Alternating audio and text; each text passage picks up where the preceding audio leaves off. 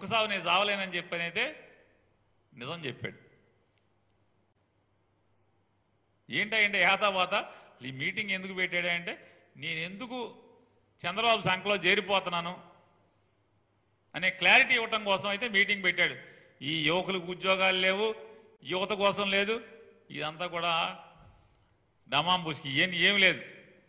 తను చెప్పదలుచుకున్నది ఏంటంటే నేను చంద్రబాబు సంఖలోకి వెళ్ళిపోయాను ఎందుకు వెళ్ళిపోతున్నానో చెప్తున్నాడు. ఏమన్నాడు? మళ్ళీ ఒకసారి అయిపోయింది నాకు చంద్రబాబు జగన్మోహన్ రెడ్డి గారితో బడిది పూజ అయిపోయింది ఒకసారి.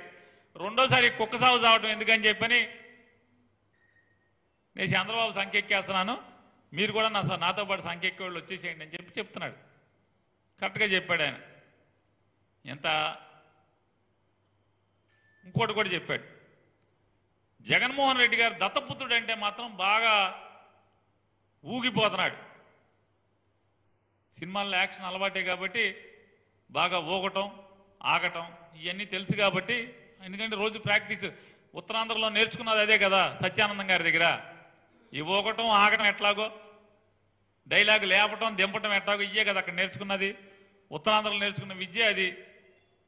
దాంట్లో ఆయన చెప్తూ ఏమంటాడంటే చంద్రబాబు నాయుడు గారిని రెండు వేల పద్దెనిమిదిలో బాగా బూతులు తిట్టాను కొడుకుని తిట్టాను. మళ్ళీ సిగ్గు లేకుండా ఎందుకు మాట్లాడతాం అనే కదా చాలా మంది నన్ను అడుగుతున్నారు. ఈ డయాస్ మీద ఉన్నాడు డయాస్ కింద వాళ్ళు ఒకటి చెప్పండి అయ్యా నాకు. మన ఇంటి ముందు మన అత్తయ్యో మన మామయ్యో మన ఇంటి ముందు ఉంటాడు. గొడవ పడతాం. ఇక జీవితాంతం మాట్లాడతాం. మానేస్తామా అంటే చంద్రబాబు నాయుడుతో తనకున్నది ఒక అత్తతో అల్లుడికి సంబంధమో ఒక మామతో అల్లుడికి ఉన్న సంబంధమో ఒక దత్త తండ్రితో దత్త పుత్రుడికి ఉన్న సంబంధం ఆయన నీ నోటితో నువ్వే చెప్తున్నావు మళ్ళీ. ఉలికి పడుతున్నావు. ఎందుకు నాకు అర్థం కాదు. చెప్తున్నావు కదా చంద్రబాబు నాయుడు ఒక అత్త ఎదురింట్లో ఉన్నటువంటి అత్త లాంటోడు మామ లాంటోడు అని చెప్తున్నావు కదా. జగన్మోహన్ రెడ్డి గారు ఏం చెప్తున్నాడు? అత్త మామ కాదయ్యా దత్త తండ్రి అని చెప్తున్నాడు. వరసే కదా తేడా. నువ్వే చెప్పావు కదా చంద్రబాబుకి నాకున్న బంధం ఎదురింట్లో ఉన్న సొంత అత్తో మామతో సమానం అని చెప్పావు కదా. మళ్ళీ జగన్మోహన్ రెడ్డి అంటే ఉలిక్కిపాటు ఎందుకు మరి? అంటే నిజం చెప్తే ఉలిక్కిపాట? అంటే నిజం ఎవడు చెప్పకూడదా నీ గురించి?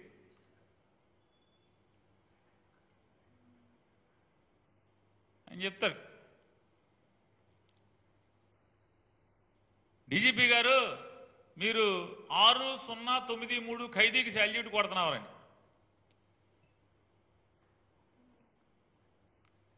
సాధారణమైనటువంటి మనుషులు మాట్లాడుకునేటువంటి సామాన్య జనం మాట్లాడుకునేటువంటి తెలుగు భాషని వ్యాప్తి చెందటానికి తెలుగు భాషని సామాన్యుడి భాషలో లిపి ఉండాలని చెప్పని గ్రంథాలు ఉండాలని చెప్పని ఉద్యమం చేసినటువంటి యజ్ఞం చేసినటువంటి గిడుగు రామ్మూర్తి గారు గురదాడ గారు. వీరిద్దరూ కూడా ఇంట్లో భార్య ఉండగా పరాయి మహిళలతో సంబంధాలు పెట్టుకున్న వాళ్ళని కూడా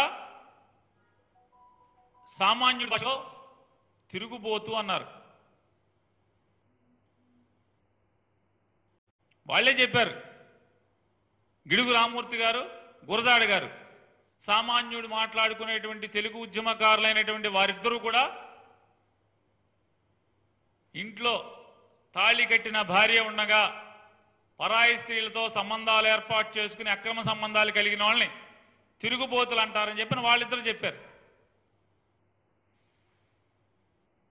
మరి తిరుగుబోతులకు జై కొట్టాలి తిరుగుబోతులకి నమస్కారాలు పెట్టాలి తిరుగుబోతులకి బ్యానర్లు కట్టాలి తిరుగుబోతులకి ఓట్లు వేయాలన్నప్పుడు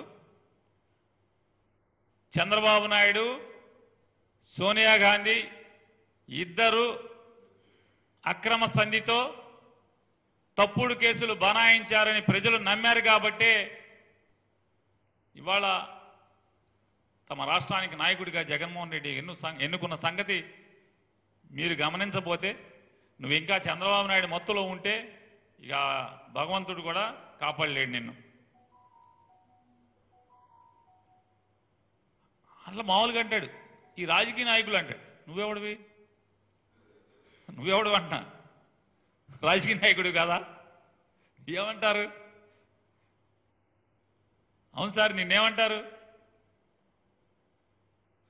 రకరకాల మాటలు మాట్లాడతావు. నీ నోటితో నువ్వే చెప్పావు. నేను సినిమాలు ఈ రాష్ట్ర ప్రజల కోసం మానేస్తున్నాను. సంవత్సరానికి వంద కోట్ల రూపాయల ఆదాయాన్ని సినిమా ఆదాయాన్ని వదులుకుని త్యాగం చేసి మీకోసం నేను వచ్చానని చెప్పి మాట్లాడావు. ఎలక్షన్లు అయిపోయినాయి. ఎలక్షన్లు అయిపోయిన తర్వాత జగన్ రెడ్డి గారు మీరు శుభ్రంగా పరిపాలించండి నేను వెళ్ళిపోయి సినిమాలు చేసుకుంటా అన్నారు. శుభ్రంగా పరిపాలిస్తున్నారు.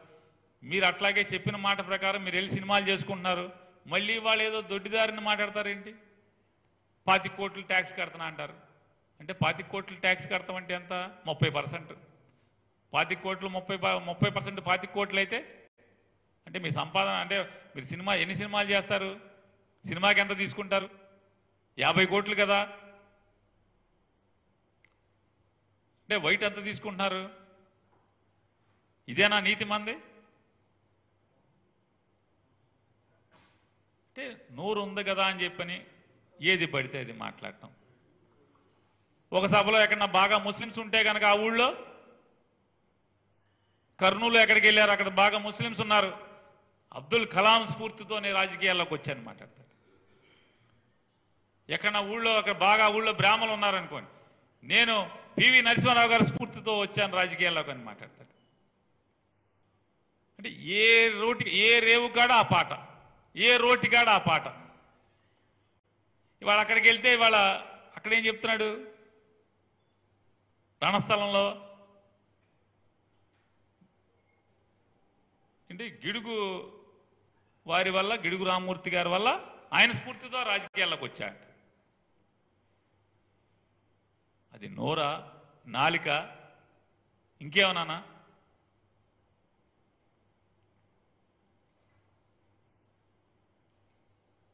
అందరూ గ్లాస్ చూశారు గ్లాస్తో టీ తాగారు పోలింగ్ బూత్లోకి వెళ్ళి ఫ్యాన్ కోటేశారు ఏం బాధ? పకోడికి కూడా వద్దురా బాబు నీ బాధ.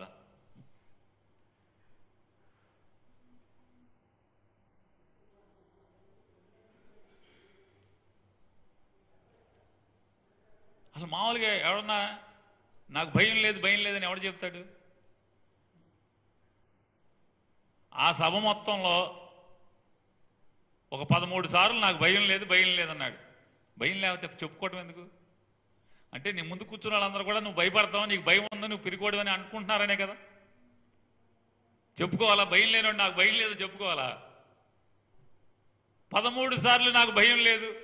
నాకు భయం లేదు నేను పిరికివాడిని కాదు నేను భయం లేదు. మంచోడురా బాబు. మాలోకి వచ్చి పడ్డావు.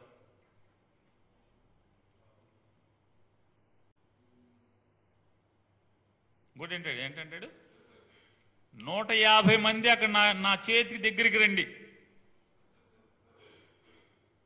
నువ్వురా నువ్వు వచ్చిపోయిన ఎప్పుడన్నా జగన్ రెడ్డి ఆ రెడ్డి అని జగన్ దగ్గరికి వచ్చి చేతికి అందుబాటులోకి వచ్చి కొట్టి అన్నావా? గుంటూరులో సబ్బెట్టి చంద్రబాబుని చంద్రబాబు కొడుకుని వాళ్ళ కుటుంబంలో అందరినీ బా బూతులు తిట్టావు కదా. మరి నువ్వు చంద్రబాబు దగ్గరికి వెళ్ళి ఎందుకుని చేతికి చంద్రబాబు చేతికి అందేట్టుకి ఎందుకు వెళ్ళా? నేను వెళ్ళావు కదా చేతికి అందేట్టు. మరి తిట్టలేదే? సార్ మీరు ఇవన్నీ ఎందుకు అక్కడ? రెండు వేల పద్దెనిమిదిలో మనం బాగా నోటు జా- నోరు జాడిచ్చాం కదా. ఆ జాడింపు మన ఇంటికి వెళ్ళినప్పుడు దగ్గర చేతికి అందుబాటులో ఉన్నాడు కదా చంద్రబాబు చేతి దగ్గరికి వెళ్ళి మరి ఆ జాడింపు మాటలు మాట్లాడచ్చు కదా. ఎందుకు మాట్లాడాల? ఇదేనా ధైర్యం? ఈ ఇవన్నీ అంటే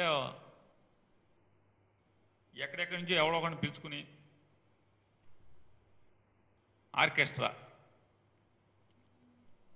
ప్రమాణ స్వీకారం అంట. ఎందుకు పోటీ చేస్తారు ప్రమాణ స్వీకారం? దేనికి? ప్రమాణ స్వీకారం దేనికి? ముఖ్యమంత్రిగా? మంత్రిగా? ఎమ్మెల్యేకా? ఎమ్మెల్సీగా రాజ్యసభగా? దేనికి? ప్రమాణ స్వీకారం దేనికి? నూట డెబ్బై ఐదు ముఖ్యమంత్రి ప్రమాణ స్వీకారం చేయాలంటే నూట డెబ్బై ఐదుకి పోటీ చేయాలి కదా. కుక్క సాగు చేస్తానని చెప్తావు నిలుడితే నేను నూట డెబ్బై ఐదుకి పొడి చేయనని చెప్తున్నావు. చంద్రబాబు సంకనెక్కితే కానీ మనం మనం ఏడలేమని చెప్తున్నాం. మరి ముఖ్యమంత్రి ఎవరు? చంద్రబాబా? సంకలం ఉన్న మనమా? అతను ఒప్పుకోడు కదా నువ్వు సాపి ప్రమాణం చేయడానికి. చంద్రబాబు దగ్గర మంత్రి చేస్తావా? లేదా ఎమ్మెల్యేనా? ఎమ్మెల్సీనా? రాజ్యసభ తీసుకుని అటు వెళ్ళిపోతావా? ఏంటి అసలు నీ ఆలోచన ప్లానింగ్ ఏంటి? ఊరికి ఆడిని ఆర్కెస్ట్రాని తీసుకొచ్చి మాట్లాడించుకోవటం వల్ల ఇంకా పలచనవటం. నిన్ను నమ్ముకుని నీ ముందు కూర్చున్న కుర్రాళ్ళ దగ్గర పలచనవటం తప్పితే ఇంతకు మించి ఇంకేమన్నా ఉంటుందా? ఈ రాష్ట్రాన్ని పద్నాలుగేళ్ళ పాటు అడ్డగోలుగా దోచుకున్నటువంటి చంద్రబాబు నాయుడు పంచన చేరి ఇవాళ నీతి వాక్యాలు నీతి కబుర్లు చెప్పటం.